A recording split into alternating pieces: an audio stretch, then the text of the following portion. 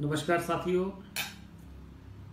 आप जानते हैं कि आज हम सब लोग बहुत बड़े एक संकट के दौर से गुजर रहे हैं और मैं आपसे निवेदन करना चाहता हूँ कि सरकार और प्रशासन के द्वारा जो एडवाइजरी जारी हो रही है, उसको आप फॉलो करें, सरकार की गाइडलाइंस को माने और सोशल डिस्टेंस जो है, उसको बना के रखें। और दूसरा मैं कहने के लिए आपसे ये दूसरा ये मैं कहना चाहता हूँ कि हिमाचल प्रदेश सरकार द्वारा चार दिन पहले ये नोटिफिकेशन की गई कि जो लोग चंडीगढ़ में, पंजाब में या दिल्ली में जो फंसे हैं, वो हिमाचल भवन, चंडीगढ़ और दिल्ली में रह सकते हैं, उनकी खाने की और रहने की व्यवस्था सरकार करेगी।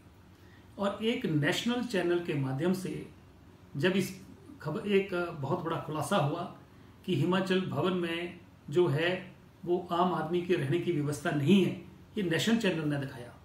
और देखा गया कि वहाँ पर जो है, सरकार की नोटिफिकेशन के बावजूद भी जब मीडिया के लोग वहाँ गए तो उनको एंटर नहीं होने दिया। और दूसरी बात यह है कि गेट कीपर से जब पूछा गया कि भाई आप अंदर क्यों नहीं जाने दे रहे तो गेट कीपर ने यही कहा कि ऊपर से आदेश हैं कि अंदर कोई नहीं जाएगा। तो बड़ी हैरानी की बात है कि जब सरकार एक तरफ़ से कह रही है कि हिमाचल के लोगों को वहाँ खाने की और रहने की व्यवस्था की जाएगी। और दूसरी सरकार ये आदेश दे रही है कि अंदर जाने की इजाज़त ना दी जाए।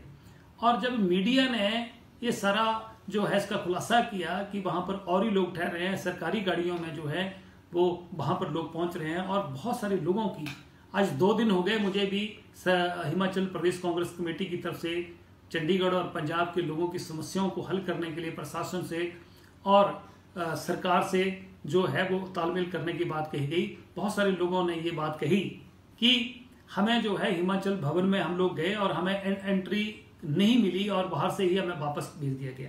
और आज सरकार को इस बात की बहुत ज़्यादा जो है वो तकलीफ़ हो रही है कि हमें हिमाचल भवन को लेकर ऐसी ऐसी बातें की जा रही है। मैं ये कहना चाहता हूँ कि अपोजिशन जो है, उसकी जिम्मेवारी है कि सरकार कोई गलत काम करे तो उसको रोका जाए।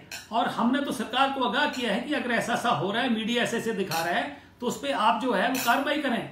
आज सरकार जो है वो मीडिया के ऊपर एफ़ दर्ज कर रही है। आज सरकार जो है अपोजिशन के द्वारा जो आवाज़ उठ रही है उसको उसको दबाने की कोशिश कर रही है। मैं ये कहना चाहता हूँ आप, आप सबको कि आज हिमाचल प्रदेश में कांग्रेस पार्टी सरकार के साथ कंधे से कंधे मिलाकर चल रही है।